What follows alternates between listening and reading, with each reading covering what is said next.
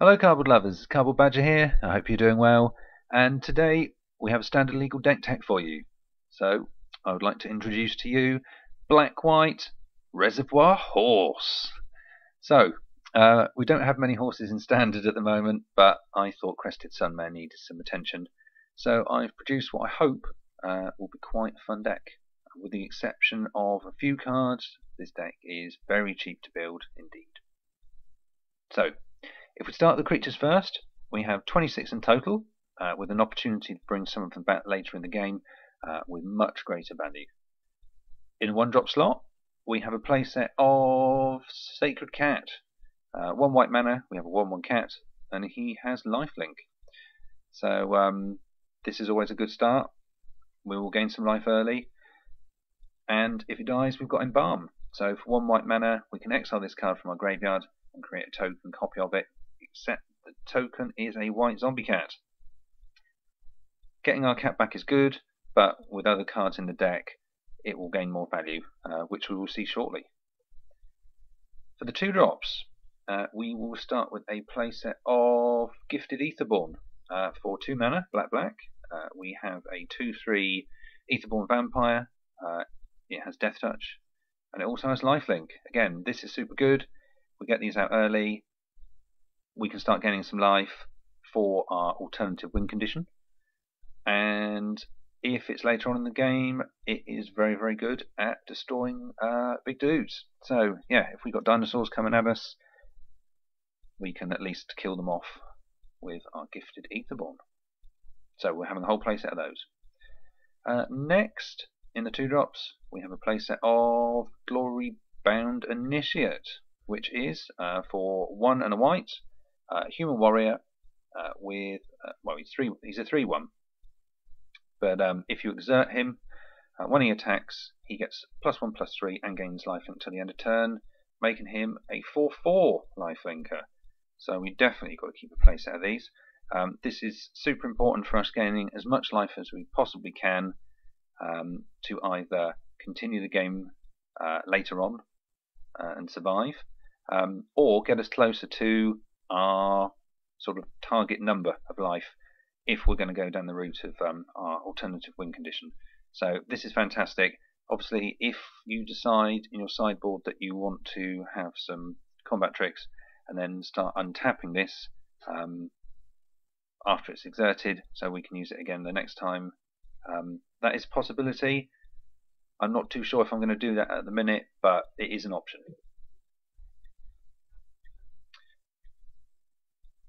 And finally, for our one drops, we've got Anointer Priest.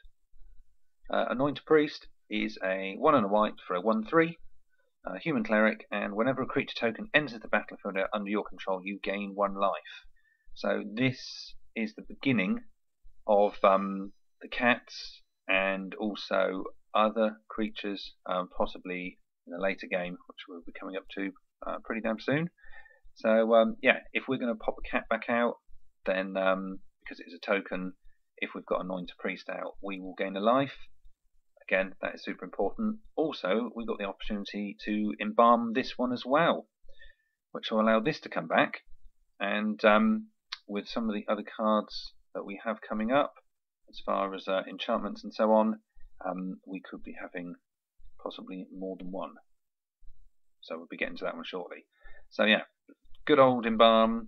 We're going to keep getting things back for a higher value and hopefully also gain life.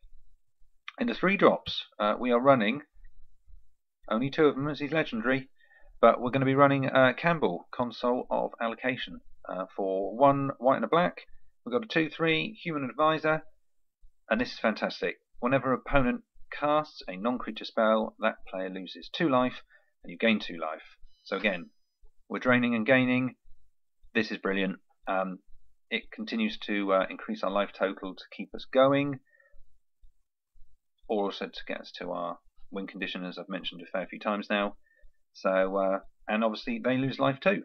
So, I'm very happy with this card. It is highly annoying. I have played against it. It is a pain. So, um, yes, got to have two of those. In the four drops, uh, we have the start of our horses, which is obviously the main part of this deck, to be honest. Um, we have a playset of Dusk Charger for three and a black. We have a 3 3 horse, but it's got send. So if you control 10 or more permanents, so creatures, lands, enchantments, whatever, if you have 10, you get the city's blessing. It then gets a plus 2 plus 2, and we then have a 5 5 horse. That is one of the horses. The next horse we have, top of the curve, we've got Crested Sunmare, and we have a playset of them. Uh, Crested Sunmare is a 5-5 horse for 3 white white, and other horses you control have indestructible. So, if we can get Crested Sunmare out, our fantastic Dusk Chargers, hopefully with Ascend and being 5-5, will now have indestructible. The other thing, and this is super important, this is why we have quite a lot of things with life gain. At the beginning of each end step, if you gained life this turn, create a 5-5 white horse creature token. When we do this, in whichever form we're going to do it, um, that horse will have indestructible also. So we are trying to pump out as many horses as possible and either just go full on in there with a mass herd of horses. Is it herd? I have to check that. Herd horses. Um, and going for straight to the face. That is our main win condition. Also, we have a life gain, and we'll be coming up to that bit rather shortly. For our non-creature spells, we're starting with three copies of Aetherflux Reservoir, a artifact for four colourless mana, and whenever you cast a spell, you gain one life for each spell you cast this turn. So you cast a spell, you get one life. If you cast two spells, you get three life. One for the first one, two for the second one, then add the number together. That's how that one accumulates. Um, if you pay 50 life, um, Aetherflux Reservoir deals 50 damage to target creature or player. So with all our life gain, um, if we happen to hit the 50, then uh, we can pay 50 life, and then we can just go straight in uh, to the face of our player. It's not combat damage, so in theory, we can't have any fog action going on. Um, it isn't going to nullify the damage, and it will get through. So we are having three copies of those.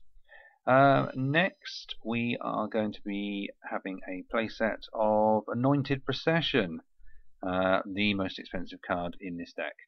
Um, Anointed Procession uh, for three and a white. It's an enchantment with an effect. If an effect would create one or more tokens under your control, it creates twice that many of those tokens instead.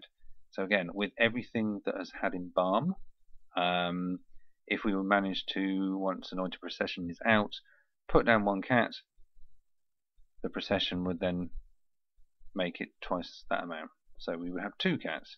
Um, that will also go for anointed uh, priest as well, um, and also our horses. Um, if we happen to have two of these out, then they will stack. So we get one token. The first anointed procession will double it, make it two. The second procession will double it, make it four. Um, every time a token enters, if we have our anointed priest out, we would gain one life. Um, so for that example, we would then gain four life, uh, in addition to the tokens that uh, we've just created. And that will get us closer to our 50 life, if that is the direction we're going to be going to. We're also playing two Authority of the Consuls, which is great against token strategies. Um, it's an enchantment. It's uh, one white mana, and uh, it is creatures your opponents control enter the battlefield tapped, which is brilliant. Uh, and whenever a creature enters the battlefield under your opponent's control, you gain one life. So you could gain tons of life with this. Um, also, because one mana, we might get a chance to play a couple of cards um, in our turn and if we've got Aetherflux Reservoir out, um, the life gain will stack off of those triggers, and it will get us a lot closer to 50 life if that's the direction we're going to be going. Um, another one drop uh, is going to be Fatal Push. Uh, we're going to be playing two copies. Uh, if you don't have these, uh, you could use Walk the Plank uh, for non-merfolk strategies. Uh, Fatal Push It's pretty fantastic. Uh, destroy target creature uh, if it has a converted mana cost of 2 or less, but if we have the revolt trigger, possibly our cat's died, who knows, um, we could get rid of something which has a mana cost of 4 or less uh, because we've had something leave the battlefield this turn. So, yeah, very cheap spell, brilliant. We can gain life from it also. Do like this card quite a lot. Uh, next, we've got two Rush of Vitality. Um, for two mana, one and a black, uh, we have an instant with target creature gets plus one, plus zero, and gains lifelink and indestructible until the end of turn. This, um, I really hope, is going to save our horse, our main, main horse. Um, if we can keep Crested Sunmare alive, um, then we keep the rest of our horses indestructible. So it also gives it lifelink, and then we can uh, pile on in for more. So um, yeah, this is a nice little combat trick, something that will allow us to keep that horse going. And uh, yeah, I like this card a lot. Uh, next, three mana, uh, two and a black. We've got Cartouche of Ambition. Uh, we're going to be playing two copies of this one, and the main target for this enchantment is our horses. So um, yeah, we need to get this on Dusk Charger. If we've got the city's blessing, uh, then it's going to be a 6-6. It's going to be indestructible, and it's also going to have lifelink. Um, we can also put obviously the minus one minus one on target creature to hopefully kill something off, or just make it a little bit smaller. But the fact that we've now got a 6-6 horse is pretty fantastic, and um, yeah, it's going to be gaining life and hopefully making more tokens. Fingers crossed. So uh, yeah, not bad at all. Our final card um, is one copy of Fumigate. Um, it is 5 mana, 3 white white, and it destroys all creatures. And you gain 1 life for each creature destroyed this way. So, we could just get rid of everything. We could get rid of so many things it will take us over the edge because it is destroy all creatures, which means our lovely artifact will still be around. And that means if we then suddenly have 50 life, we can ping them for 50 and finish the game out. The other thing is, our mighty fine horses, they should all be indestructible, hopefully. Um, so we could do a nice old board wipe and just leave the horses standing. Um, in that case, the board state will be mighty fine, and we can gallop on in, hopefully for the win. So uh, yeah, one of those. Possibly we could put a few more in the sideboard. I haven't done the sideboard for this deck tech. I'm not 100% sure at the moment. I need to play this deck more before I can start swapping things around depending on who I'm playing. Um, but feel free in the comment section to let me know what you think should go into the sideboard, and obviously all the changes also. Um, that would be great. Uh, finally, our land base. Uh, we have 22 lands. Um, not many. I'm hoping this is going to be alright. Uh, we are going to have four concealed courtyards. Um, and we're also going to be followed by eight swamps and 10 plains. So that is it in theory, if uh, you didn't have the funds or you don't happen to have concealed courtyard, then just go swamps and plains. Um, I wouldn't go half and half, maybe slightly more in the direction of plains, just by a card or two. But yeah, if you don't have the funds or whatever, then just go plain old lands. Why not? Anyway, let me know what you think um, of Black White Reservoir Horse. Um, look forward to your comments and advice. Please let me know and uh, ding that bell for notifications for future Magic the Gathering content. Um, please like, share, and subscribe. And thanks for watching Cardboard Badger.